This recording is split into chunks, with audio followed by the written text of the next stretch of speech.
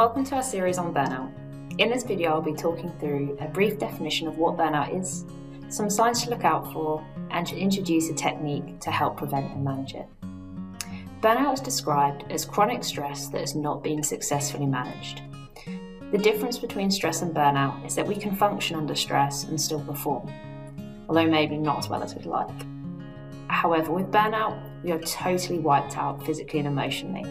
We often feel aware of when we're stressed, but burnout is more difficult to notice. Some of the signs to look out for when you might be on your way to or experiencing burnout are mental and physical fatigue and exhaustion, moodiness and impatience, a loss of motivation and reduced interest in commitments, a lower immunity to illness, withdrawal from other people and social situations, feeling unappreciated, disillusioned, hopeless, and a depressed outlook on life, and sleep deprivation, foggy thinking, and trouble concentrating.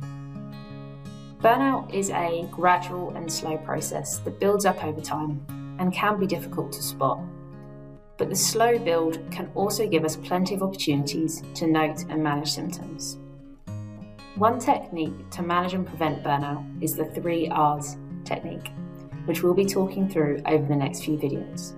The three R's are recognize, look for symptoms, reverse, take action to undo damage through stress management and getting support, and resilience, look after emotional physical health and build resilience to stress.